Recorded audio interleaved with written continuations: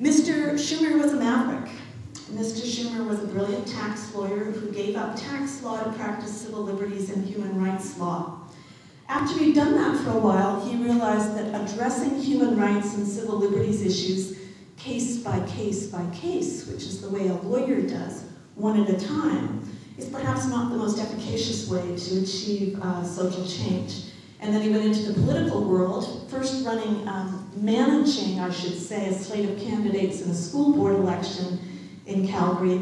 We were successful. I worked with him on that school board election. We were successful in getting our slate elected. That whetted his appetite for politics, and he moved into uh, provincial level politics.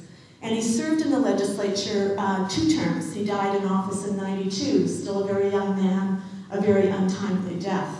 He was a liberal politician sitting in Alberta's provincial legislature, and uh, that was a brave decision to make to run as a liberal in Calgary because you may have noticed if you pay any detailed attention to our politics that uh, there aren't very many non-conservatives that, that get elected. He was a much loved person and loved because he was an interesting man. He was a guy about town. He was a rock concert promoter. But he was mostly loved because he was motivated by principle and had the deepest concern for the health of democratic institutions, uh, civil liberties, human rights, and so on. I told you that he quit practicing law as a relatively young lawyer and took up the civil liberties and human rights work, but he was a smart investor as well and started his own little oil and gas company.